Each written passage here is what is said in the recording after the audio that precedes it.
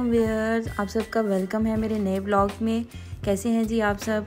मज़े में हैं इंजॉय कर रहे हैं। मैं भी खैरियत से हूँ, अल्हम्दुलिल्लाह। आप सबको मेरे अभी तक के ब्लॉग्स कैसे लगे, आप सब मुझे कमेंट्स में बता सकते हैं।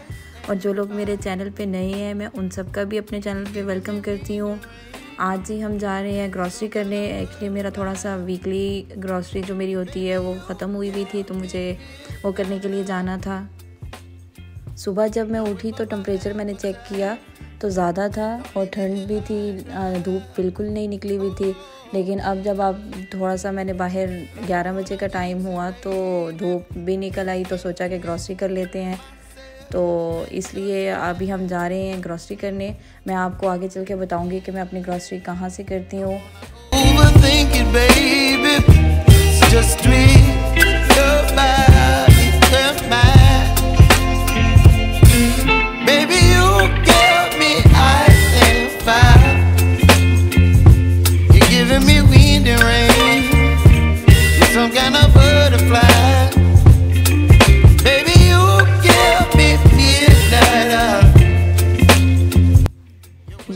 हम अपने शॉपिंग पॉइंट पे पहुँच चुके हैं और मैं नॉर्मली जो है वो वालमार्ट से ही ग्रॉसरी करती हूँ क्योंकि ये हमारे घर से करीब पड़ता है।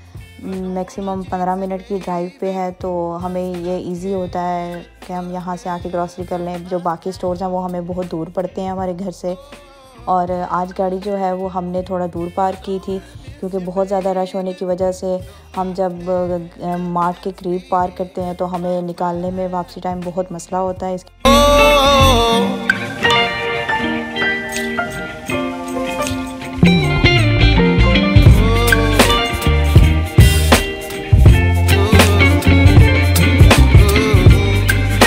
आज मैं आपके साथ अपना ग्रॉसरी टूर शेयर करूँगी।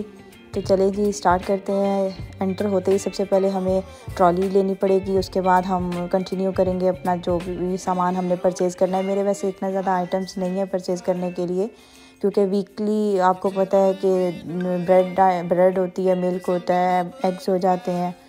तो फ्रूट्स और कुछ वेजिटेबल्स अगर आपने कुकिंग के लिए इस्तेमाल करनी हो तो इतना ही होता है। तो ये आप साइड पे देख सकते हैं, यहाँ पे बेकरी आइटम्स सारे अवेलेबल हैं। इसके साथ इन्होंने साथ ही फ्रूट्स का सेक्शन भी बनाया हुआ है, उसके साथ वेजिटेबल्स का सेक्शन है। तो मैं कुछ वेजिटेबल परचेज़ करूँगी और कुछ फ्रूट्स परचेज़ करूँगी। और क्योंकि मुझे अपने हस्बैंड को लंच में देने होते हैं, इनका सारा टाइम जो है वो ऑफ़िस का इस तरह की इनकी ऑफ़िस की रूटीन ऐसी है कि ये सुबह जाते हैं और शाम को पाँच बजे इनका ऑफ़िस टाइम ख़त्म होता है तो इनको घर आते आते पाँच, साढ़े पाँच, पौने छः हो जाते हैं। तो सारा दिन जब बाहर रहते हैं आप तो एक आपको सुबह ब्रेकफास्ट मिलता है करने को, उसके अलावा आप जो है वो अपना रात का डिनर इंजॉय करते हैं। तो जो मिड का टाइम होता है उसमें आप अपनी कोई भी न्यूट्रिशन प्रॉपर तरीके से ले नहीं सकते। तो इसलिए मैं कोशिश करती हूँ इनके लंच में इनको ऐसी चीज़ें दे दूँ साथ कि इनकी न्यूट्रिशन या हेल्थ के ऊपर भी इफ़ेक्ट ना हो काम के साथ साथ। आपकी हेल्थ भी अच्छी रहनी चाहिए। हम जब भी ग्रॉसरी करने जाते हैं, मेरे हस्बैंड मेरी बहुत हेल्प करते हैं, क्योंकि यहाँ पे हमें ग्रॉसरी करने में टाइम बहुत लग जाता है। हमें हर एक एक चीज़ को पढ़ के लेना पड़ता है, उसके इंग्रेडिएंट्स को चेक करना पड़ता है। तो इसके लिए हमें बहुत ज़्यादा टाइम रिक्वायर्ड होता है तो हम अपने ग्रॉसरी जो भी हमने करनी होती है, हम उसको हाफ़ ऑफ़ कर लेते हैं। कुछ आइटम्स मेरे हस्बैंड परचेज़ कर लेते हैं, कुछ मैं कर लेती हूँ। इस तरीके से हमारा टाइम सेविंग भी हो जाती है और हमारा काम भी जल्दी हो जाता है। हम चलते हैं बिलिंग की तरफ़। तो यहाँ पे दो तरीके हैं बिलिंग के। एक तो आपको लाइन में लग के बिल बनवाना पड़ता है और एक ये है कि आप अपने सेल्फ़ बिलिंग भी कर सकते हैं। आप ख़ुद जाके काउंटर पे खड़े होते हैं और अपने आइटम्स को स्कैन करके और बिल बना सकते हैं। तो ये आप देख सकते हैं कि मैं जो है वो बिलिंग अपने खुद कर रही हूँ क्योंकि उससे ईजी होता है कि आपका टाइम बच जाता है लाइन में खड़े होने से रश में जाने से। ये तरीका आपके लिए बहुत ईजी रहता है। चलते हैं जी घर को। उम्मीद करती हूँ आप सब मेरे ब्लॉग को एंजॉय कर रहे होंगे। और मेरे चैनल को सब्सक्राइब करना बिल्कुल मत भूलें। मेरी वीडियोस को ज़्यादा से ज़्यादा लाइक करें शेयर करें। और ग्रॉसरी करने के बाद सबसे जो हेक्टिक काम होता है, वो ग्रॉसरी को समेटना होता है।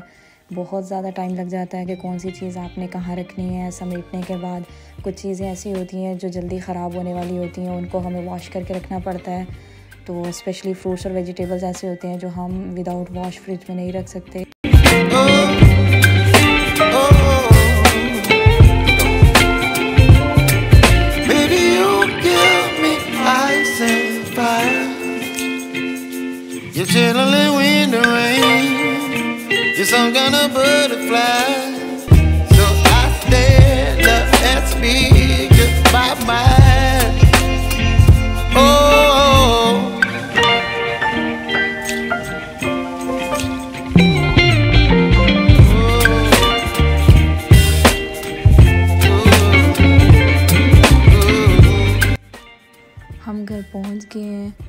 और सबसे इम्पोर्टेंट काम अब ये है कि ग्रॉसरी जो है वो गाड़ी से ऊपर घर तक पहुंचानी है, क्योंकि हम जो है वो थर्ड फ्लोर पे रहते हैं। तो बहुत ज़्यादा मुश्किल होता है कि एक ग्रॉसरी को सामान के बैग्स उठा उठा के ऊपर जाना। तो ये है कि मिलते हैं कुछ देर में। ग्रॉसरी हमने ऊपर शिफ्ट कर ली थी। और आज का ब्लॉग इतना ही था। उम्मीद करती हूँ आपको मेरा ब्लॉग पसंद आया होगा। मिलते हैं आपके साथ अगले ब्लॉग में। खुदा हाफिज़।